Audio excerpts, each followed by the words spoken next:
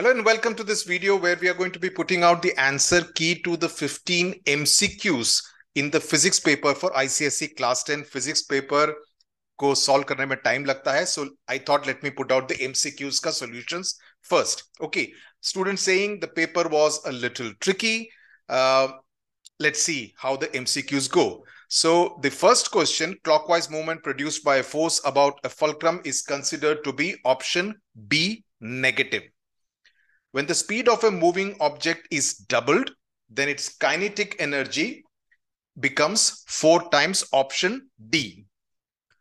Third question, the energy conversion in a washing machine is electrical to mechanical. Third B, pretty simple. Which of the following radiations suffer maximum deflection in a magnetic field? The correct option is B, beta radiations. Speed of blue light in water is option C, more than violet light. Okay.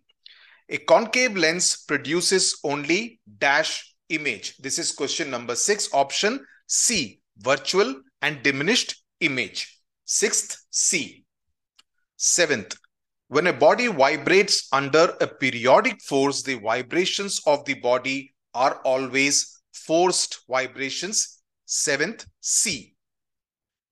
Eighth question. Two notes are produced from two different musical instruments such that they have same loudness and same pitch. The produced notes differ in their wave form. Option A. Ninth question. When a current I flows through a wire of resistance R for time t, then the electrical energy produced is given by Ninth option, correct one is A. Option A.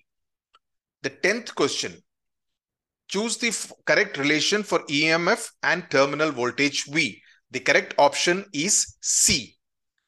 When the cell is in use.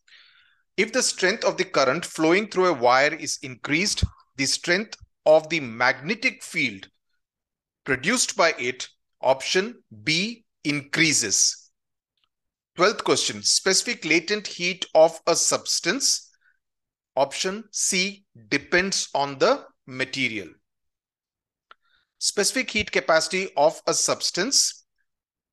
The 13th question, correct option is option B, 1 kg of substance X absorbs 1900 joules heat for 1 degree Celsius rise in temperature.